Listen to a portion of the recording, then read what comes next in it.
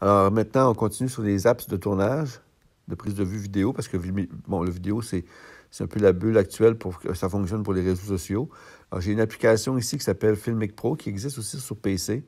Euh, pas, pardon, pas, pas, sur PC, mais sur Android et sur iOS. Alors, ça, c'est euh, avantageux pour les deux. Si vous avez des, des plateformes mixtes, exemple une tablette Apple puis euh, un téléphone Android, ben ce logiciel-là fonctionne sur les deux plateformes. Alors, je peux l'ouvrir comme ça ici. Si je l'ouvre, ça me donne une petite idée. Ça va ressembler. C'est un peu différent de l'interface par rapport à ma vie, mais c'est aussi très professionnel parce que j'ai le même genre d'outil. Si je clique sur l'engrenage, alors je peux jouer sur la résolution. Peut-être même que j'ai des proportions plus poussées encore. Alors, j'ai 16, 9, 3, 2, 1, 2, 2.2 sur 1. Alors, 2.39 euh, sur 1. Euh, j'ai ici la résolution. Alors, euh, codec haute efficacité HEVC. Ça, ça existe encore aussi.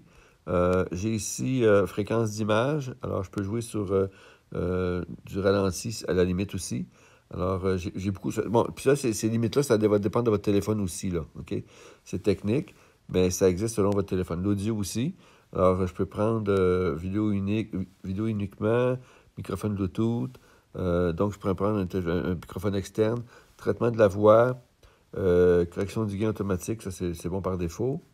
Alors, je peux maintenant prendre l'appareil. Alors, télé, ça peut devenir une télécommande, aperçu de la télécommande uniquement.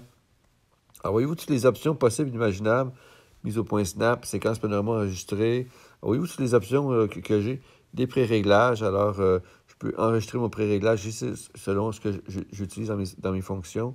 J'ai mes CMS aussi, donc c'est un genre de clap pour noter nos éléments. OK, alors, euh, scène 1, prise A. Euh, scène 1, 1A, prise 1. Alors, ça, c'est selon, a différentes normes, mais ça, c'est quelque chose qui existe en cinéma. On le voit d'ailleurs quand on regarde le making-of. C'est ce qu'on appelle la, la, clapette ou le clap.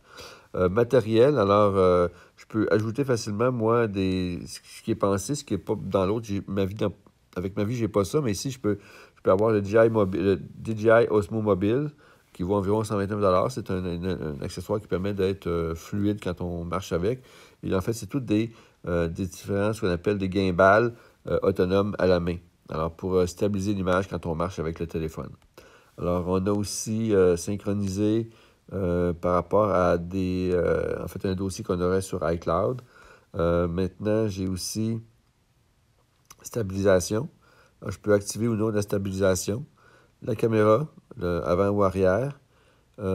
guide. Alors, je peux ajouter, moi, des guides ou pas de guides par rapport aux lignes de tiers. donc, on voit ici que c'est un logiciel qui est assez poussé, qui ressemble à l'autre, en fait, au niveau des options, mais présenté différemment. Alors, lui, il, y a une version gratuite, il y a une version payante. Les options, quand c'est une version payante, on a plus d'options au niveau des options de résolution puis des, euh, des différents réglages possibles. Alors, c'est à votre tour d'essayer.